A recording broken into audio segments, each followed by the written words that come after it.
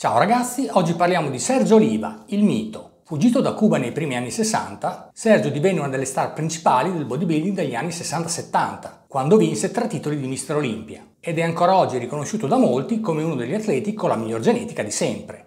Un mass monster dal fisico altamente estetico, uno dei pochi a poter sostenere la cosiddetta victory pose. Enjoy! Sergio Oliva nasce a Cuba il 4 luglio 1941. Povero di famiglia, impara presto a guadagnarsi da vivere e sin dai 12 anni lavora col padre nelle piantagioni di canna da zucchero.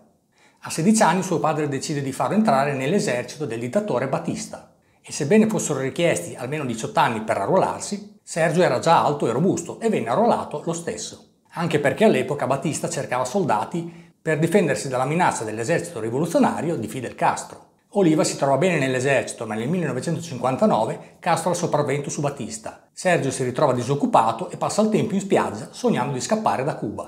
Un giorno un amico lo nota in spiaggia e lo invita a iscriversi ad una palestra di sollevamento pesi locale. Un gesto semplice che però diventa la svolta della vita per Sergio. Dotato di una genetica molto favorevole, Sergio cresce rapidamente e in sei mesi arriva a sollevare 136 kg nello slancio. Le sue performance sportive non passano inosservate e ben presto viene inserito nella nazionale di sollevamento pesi cubana. Fra le sue migliori alzate nella classe dei pesi medio-massimi, quindi sotto i 90 kg, ricordiamo i 127 kg nella distensione e nello strappo e i 163 kg nello slancio. Ma Sergio non è contento della sua vita a Cuba e la grande occasione per cambiare vita arriva nel 1962. Partecipa con la nazionale ai Giochi del Centro America e dei Caraibi, vincendo la medaglia d'argento nella categoria medio-massimi, ma soprattutto trova l'occasione per disertare riesce ad eludere la sorveglianza dei suoi accompagnatori, corre al consolato americano e chiede asilo politico. Nel 1963 si trasferisce a Chicago, dove inizia una nuova vita. Conosce Bob Gaida, che lo comincia a dedicarsi al bodybuilding e comincia ad allenarsi alla YMCA, ai tempi la mecca dei muscoli del Midwest. Una palestra frequentata da numerosi campioni dell'epoca. Oltre a Oliva e Gaida ricordiamo Larry Scott, Chuck Sipes e per un breve periodo lo stesso Arnold Schwarzenegger. Circondato da un'atmosfera entusiasta, Sergio si allena con grande entusiasmo e cresce rapidamente, sviluppando il fisico più impressionante dell'epoca. Un mass monster che riusciva ad armonizzare volumi muscolari mai visti, mantenendo un'estetica ed un'eleganza insuperabili, con spalle enormi, vita sottile, gambe e braccia lunghe e massicce. In breve si afferma sulla scena del bodybuilding americano e con un peso in gara che andrà dai 102 ai 111 kg per un'altezza di 1,78 m, nel 1963 vince il titolo di Mr. Chicago nel 1964 è Mister Illinois, nel 1966 è Mister Universo IFBB e lo stesso anno è quarto al Mister Olympia. Tenta di vincere il Mister America ma nonostante la sua superiorità fisica sembra che le giurie non vogliano un cubano come Mister America.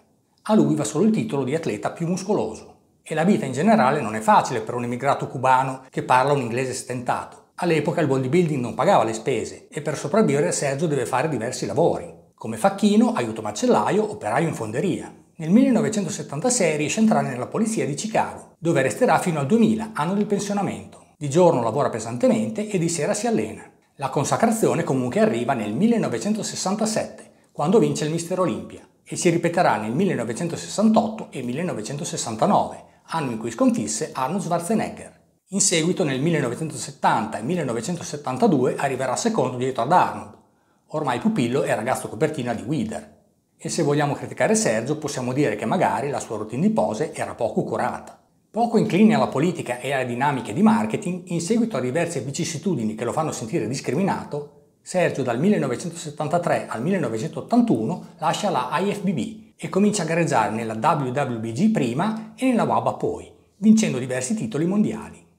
Nel 1984, a 43 anni, viene invitato dalla IFBB a partecipare al Mister Olympia, dove si classifica ottavo. Si riprova anche nel 1985, dove pur presentando un'ottima forma, colleziona ancora un ottavo posto. Sarà la sua ultima gara. Nel 1986, durante un litigio in famiglia, la moglie Arlene Garrett gli spara 5 colpi all'addome con la pistola di ordinanza del marito. Sergio si salva, ma la sua carriera sportiva finisce in quell'istante.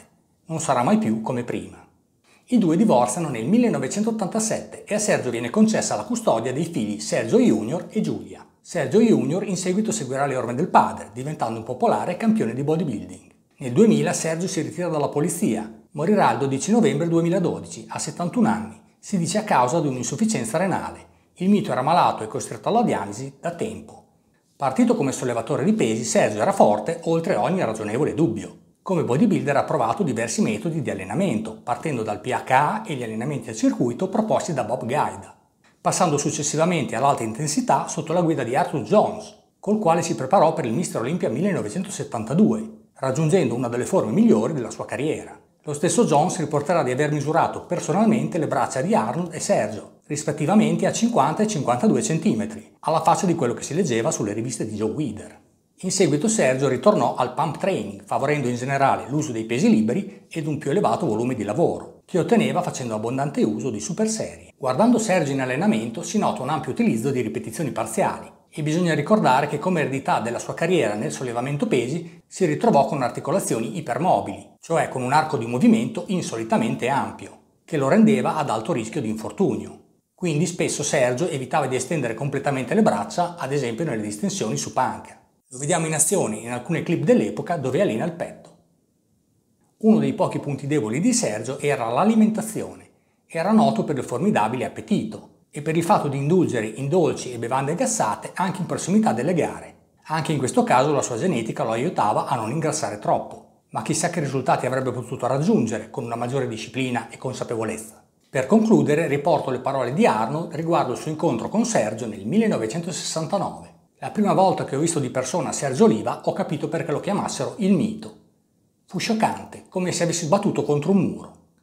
Era così enorme e fantastico che non potevo pensare di batterlo in nessun modo. Mi sono sentito sconfitto, sono rimasto così impressionato da Sergio che ho accettato il secondo posto ancora prima che salissimo sul palco. Non mi piace ammettere la sconfitta, ma penso che Sergio fosse il migliore. Non c'è altro da dire. Che dire, se questo fu il pensiero di Arnold, non c'è davvero altro da aggiungere. Ciao, alla prossima!